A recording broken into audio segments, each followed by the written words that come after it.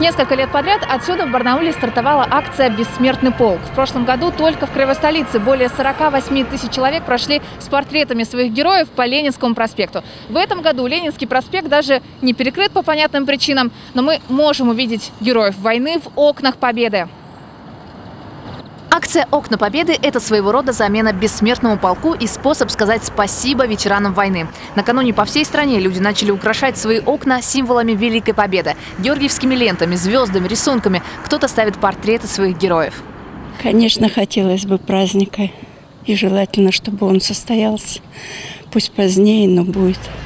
На подоконнике Людмилы Васильевны ее герои – мама и папа. Отец Людмилы Васильевны Василий Трофимович Бушмакин до войны служил в армии три года. Но вместо дембеля пошел на войну. Служил танкистом, получил три медали за отвагу. Почти 30 лет назад его не стало. Людмила Васильевна говорит, что отец не любил говорить о войне. У него внук, вот Миша, мой сын, он, значит, тоже у деда все время спрашивал. Но он говорил, что мне не хочется, да, рассказывать про войну, потому что ну, было очень, э, как он говорил, сложно. Зато теперь в семье бережно хранят медали деда, а самые маленькие даже носят.